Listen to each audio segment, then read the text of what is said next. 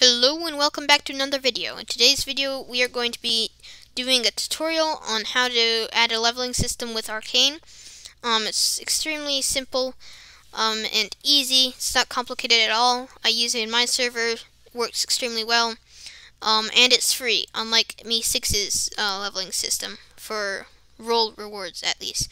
Um, so the first step is you want to go to your server settings and create your roles um, that you want. So I already have mine created. Um, I have fan level 5, enthusiast level 10, and insane fan level 20.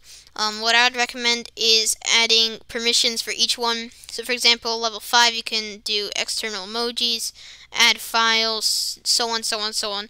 Um, and another thing that I recommend is if you have a theme in your server, then base it off of that because in my server it's based on comedy. So we I, we have like level 5 Joker or something like that and goes on to comedian and stuff like that. So I would recommend that. It makes it um, a bit more creative. Um, so yeah, once you have that done, um, shouldn't take you that long unless you really want to specify your permissions for each one in colors and everything.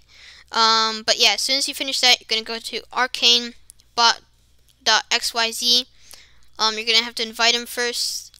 Um, so here's his link, arcanebot.xyz. Um, and then what you're going to do is you're going to go to your dashboard once you've invited him, and then go scroll down to role rewards. Um, I'm not sure if this is, if you need to turn this on, but highly doubt it. Um, but yeah, so here it gives you the option to stack rewards or not stack rewards. Basically what that means is if I get a level 5 and then after that I get level 10 then after that it keeps the level 5 if it's stacked. If I turn this off then after that if I get level 5 and then I go to level 10 then it removes level 5 and just keeps the level 10.